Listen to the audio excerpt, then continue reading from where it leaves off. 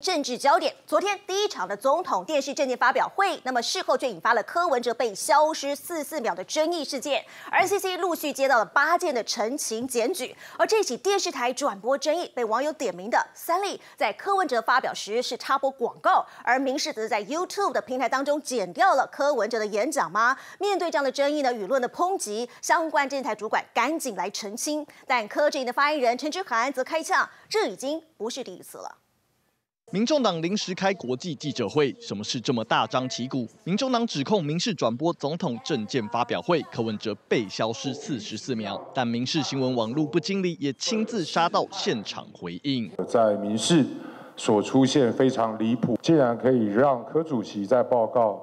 居住正义被消失了。我刚看到整个简报上面的这个标题啊，这个后面也没有打上任何一个问号，这等于是一个实质的一个指控。这场还是我们的记者会。那如果说民事这边事前就已经打算要来做说明的话，其实我们非常欢迎。那不过呢，基于礼貌上，或许应该先让我们知道。双方提问环节各自话中带刺，现场气氛剑拔弩张。但民众党的指控也被中选会反驳，因为民事的电视转播全程没有中断。柯文哲消失的四十四秒只是网络直播，而且是 YouTube 伺服器端的技术问题。送给 YT 跟送给 FB 是同一套东西，那我们为什么要在 YT 的呈现上面去剪掉四十四秒？绝对不是所谓的偷偷剪掉，侮辱智商。怎么样取得乐清大众的信任？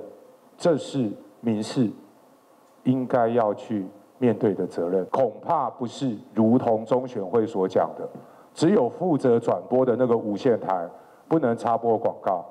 如果这个规范是这个样子的话，会出现极度荒谬的结果。民众党话锋一转，把矛头再指向中选会，认为证件发表会中网络平台不受法律限制的规范并不合理。还把当天其他家电视台通通拖下水。各台他们要自己广告在 YouTube 上面要盖台，讲真的，这个是各台的问题。证件发表以后有问题的话，他们早就应该在这一次证件发表会之前就提出来，刻意想要去暗示说有一些电视台有立场，刻意要去这个打压你柯文哲，我觉得倒是没有必要。国民党阵营也看不下去，民众党把原本就没规范的网络转播放大解读，炒作成了选举话题。记者综合报道。